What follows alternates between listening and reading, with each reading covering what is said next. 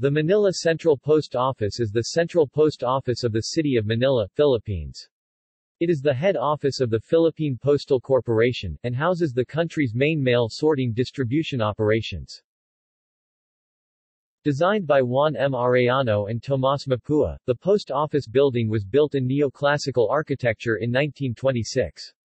It was severely damaged in World War II, and rebuilt in 1946 preserving most of its original design. The location of the post office building in the Ermita district of the city east of Intramuros, was part of the plan of Daniel Burnham for the city of Manila, which placed the building on the frontage of the Pasig River for easy water transportation of mails.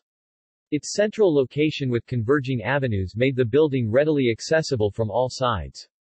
The building's main entrance faces the Liwasang Bonifacio. The construction of this building started in 1936 under the supervision of the engineering firm Pedro Siochi and Company. It was finished before the outbreak of war in 1941. History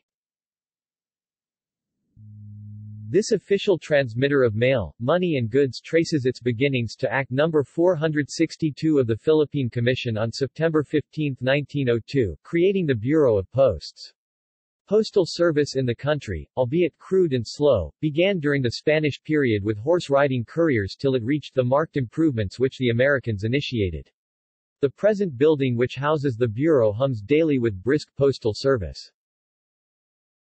Now under the Ministry of Public Works, Transportation and Communication, the Bureau of Posts, now houses a modern and efficient look with its mechanized automatic letter sorting machine, new postal code, metropolitan airmail network, motorized letter carriers and all other new facilities. Architecture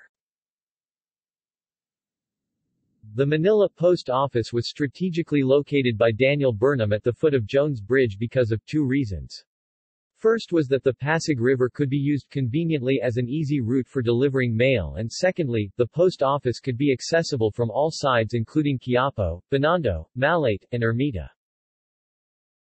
Considered to be Juan Arellano's magnum opus, it was designed in the neoclassical style that expressed order and balance. It was built in 1926 and was worth 1 million pesos.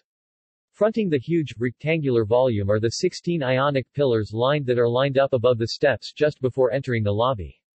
The main body of the building is capped by a recessed rectangular attic story and flanked and buttressed by two semicircular wings. Inside, the main lobby has subsidiary halls at each end housed under the semicircular spaces roofed with domes. The plans on completing the post office building was made public on November 28, 1927 but the awarding of the project happened a year after in 1928. From August 2, 1920 up to January 9, 1922, the foundation was laid out. The work was put on hold because of the scarcity of funds but was reported to be 56% complete towards the end of the year. The completion of the building was continued on February 1928. Proposals for the completion of the Manila Post Office building were made known on November 28, 1927 but the awarding of the project was made only in 1928. Gallery References External links Philippine Postal Corporation